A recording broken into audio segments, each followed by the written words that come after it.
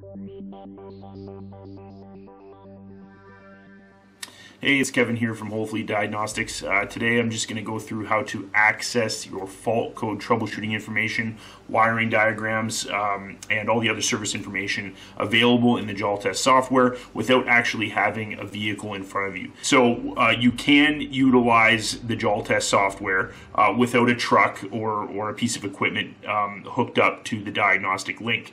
Now, uh, one of the one of the um, caveats with this is that you have to have your Jaltest diagnostic link, your Jaltest, uh, this is the, the V9 link, you have to have it plugged into the laptop with the Jaltest software.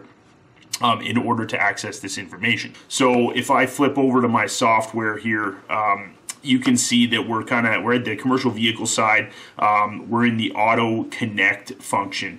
Um, let's just use an example here of uh, a PACCAR, uh, and we're maybe we're looking for um, after treatment system uh, wiring diagrams for a, a PACCAR engine. Uh, so if I flip over to manual, uh, this is going to give me the option to go through and select makes and models. Um, in, in order in the commercial vehicle side, in order to find this information, uh, we have to actually go through and, and um, select the exact system from the exact manufacturer that we're after. So in this case, I'm going to go to manufacturer. I'm going to look at my list here. I've got PACCAR up on my favorites list here. If it's not there, it might be in the sidebar. Um, we just have to add it. So Navistar, for example, that's a common one. I should have that up there. Um, but we'll go into PACCAR, and, and again, we're looking for an after treatment module, uh, which is, is related to engine. So if we got a, an MX engine in here, let's uh, let's click on MX. Um, and uh, this will bring up a list of all the modules related to uh, this PACCAR MX engine. You can see here that we've got options for exhaust gas after treatment system modules. Um, so we've got EAS 3, EAS 4. You may need to do a little bit of investigation to figure out exactly which system it is that, that you're, you're looking for. I'm going to go ahead and uh, highlight the, the um, exhaust gas after EAS 4. Let's say it's a 2017. More than likely we got an EAS 4 on there. If I highlight that, you can see here that all of a sudden we've got uh, some options that popped up on the left-hand um, system menu. Okay, so we've got our system technical data we can look at. If I click on that, it should bring up information, uh, torque specs, um, flow diagrams, uh, component information as well. Uh, so you, you can grab some information there. We've got the diagrams uh, from here. I can look at the operating diagram or the wiring diagram itself. Now, this uh, does not require internet access. The wiring diagrams on the Jaltest software are built in, um, does not require internet access in order to, uh, to grab those, which is great, uh, particularly for any technician um, who, who's working in a remote location you know, at the very least, those wiring diagrams for our electrical faults, which are also common today, um, those are going to be uh, golden for you uh, when when working um, in, in, remote locations. So built into the software, as you can see, um, you know, if, if I'm looking for, um, you know, uh, a relay or something like that, or a fuse just for example I can search through the the component list uh, click on a fuse and it actually goes through and highlights that in the uh, in the diagram for me right? So we've got those options there uh, the nice thing about these Jaltest wiring diagrams is some of the components, uh, and you know, with the popular brands, quite a few of the components show up with uh, component information. If I hover over, uh, for example, this after treatment fuel shutoff valve, and I double click on that, uh, we're going to see some component information come up. So really useful stuff, uh, such as you know, where is that component located? You can see it by that little tiny red dot um, that's that's um, uh, included in this picture here. Um, we've got tightening torques again. Uh, we've got component replacement guide link uh, if, if, we want to know how to replace that. We've got you know we can display the live data from this component at any given time. So the, the wiring diagrams are really nice. Uh, again, you, you, know I don't have the vehicle in front of me. I've just gone in, selected the system I'm after, um, and I've been able to select uh, system technical data, uh, wiring diagrams. I got some maintenance information available here too. Troubleshoot by symptoms, TSBs, component replacement guides. Now, with this, with the symptoms and the TSBs, you can see here we've got a, a tiny little network icon um, built into this uh, troubleshooting by symptoms and releases procedures TSBs. those are the items that require internet access in, in order to, to uh, load up in the Jaltest software. So uh, unfortunately for these, uh, we have to make sure that we have an internet connection reliable internet connection in order to bring that stuff up. But uh, the nice thing is when it does load, it's loaded into the software. You don't have to flip flop back and forth between you know a web browser and your um, and your uh, Jaltest software. So um, that's uh, that's an example, uh, you know, just one example of how we can we can go through and, and access this information uh, without uh, without having the vehicle right in front of us. Now, in addition to that, um, let's say I've got a PACCAR. Let's go back to that PACCAR after treatment module here. So I'm going to highlight that PACCAR after treatment module, um, and you can see there's uh, in in this um, the second menu here from the left.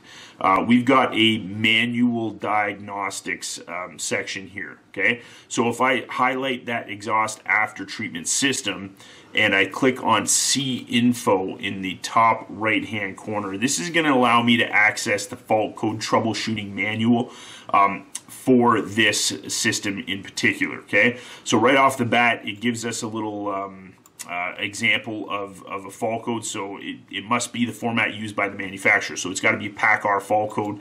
Um, I'm going to try to stick it. I mean, let's try this example one that we give us here. So uh, P3972. We'll see if it comes up with anything hit enter and it looks like this is a NOx sensor behind the SCR catalyst so the outlet NOx sensor um, the, the, it, it, brought up the fault code um, information for this particular fault code P3972. You can see here that we've got uh, about default, and this gives us information on the sensor itself. So it was that NOx sensor, uh, the NOx sensor that's that's uh, suspect in in you know generating this fault. So we've got information about that component available. If I click on there, it's got a nice little picture, the pinouts, where it's located, uh, that kind of thing. And then I've got um, a link to the wiring diagrams like we just saw previously.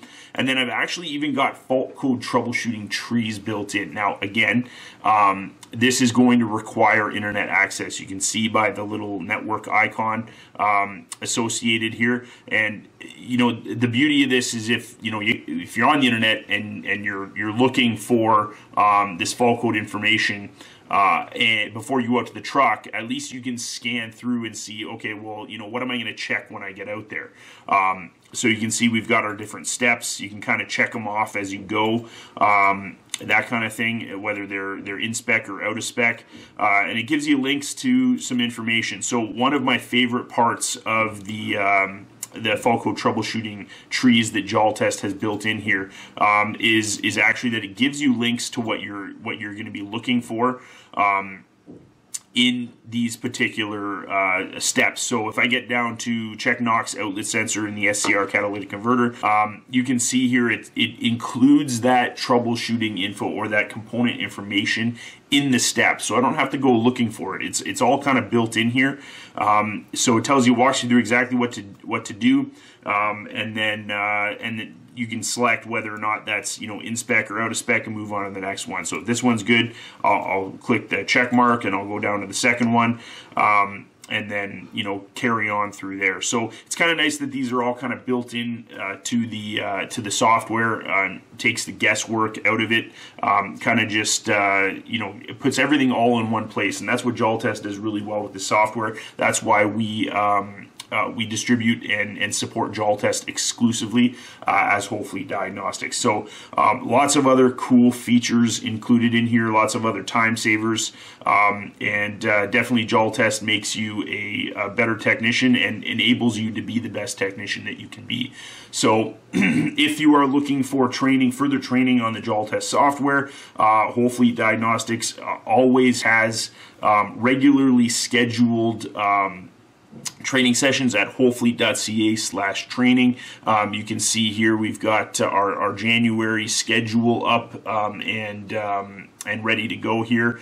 Uh, limited seating in each class. Uh, it's not necessarily exclusive to whole fleet um, customers. Um, but uh, if you are interested in, and you want some more info, um, and you know maybe you want to see the program in action, attend one of our introductory training sessions, um, or you can actually even head over to the demo section of our website, and you can request a demo whenever you, almost whenever you'd like, um, and we'll do a live demo with you. Uh, and you know I would look forward to uh, seeing any of you in a live demo. Uh, thanks very much. Uh, definitely leave comments in, in the comments section if you have any questions, uh, any requests for other videos on, on how to do a certain calibration or, or procedure using the Jaltest software for a certain maker model. We'd be happy to look into that for you and, and create a, a custom video for that.